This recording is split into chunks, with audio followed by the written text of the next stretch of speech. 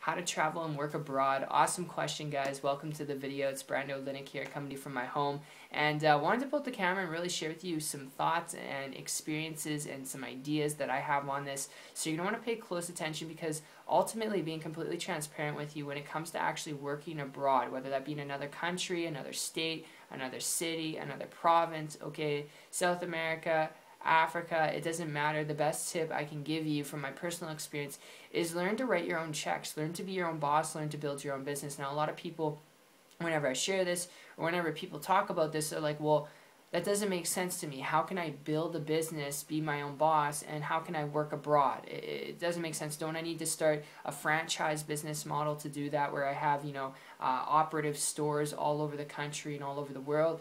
And the answer is no. And that does work. Franchising, it does work. You can't make money that way. But if you're someone who's average, you just want to be able to travel, that's your passion and hobby, and you want to be able to work abroad, I would highly encourage you learn how to build a leveraged business model. Learn how to build a business through the internet and technology. Why? If you look at today's day and age, technology it's all over the place but not just that everyone's attention is glued to it if you look at people who live in a house you have people on the top floor the middle floor the basement. You have people who are, are not you know communicating like they did 50 years ago. Everyone's texting each other talking all right? If you have um, people who are you know sitting on the couch trying to watch tv if you look at them closely they're not even watching tv they're on their phones. I mean this is today's generation. So when you learn to leverage yourself on the internet you can work abroad. You can work wherever you know your handheld device or laptop computer goes goes, and that's where everyone's at anyway. And when you learn to do that, you can build an income and it doesn't matter where you're at. It doesn't matter the location. It doesn't matter all right? It really doesn't. So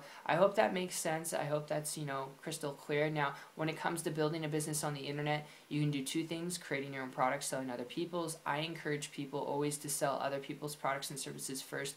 Why? Um, because when you do that it's a company or it's a person who has created and put money into the product development that you didn't have to. You didn't have to reinvent the wheel.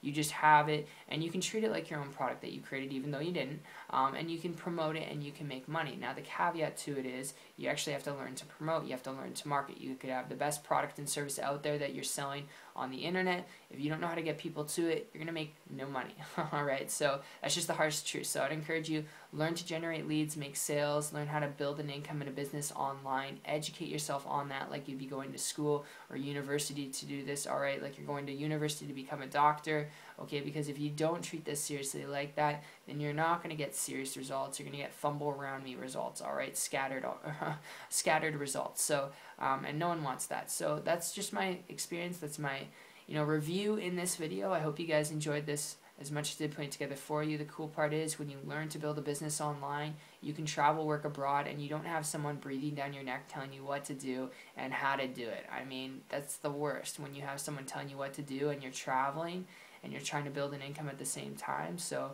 I hope you guys, you know, had a little bit of a, a gear shift there when it came to some of these tips I shared with you. And if you'd like to learn more of the mechanics and principles behind building a business online while having a life, while traveling, spending time with your family, if you're coachable, trainable, you're open-minded, connect with me on my site. It's 123marketingtips.com. The link will be down below. And I'll see you guys on the beach of the world. Take care.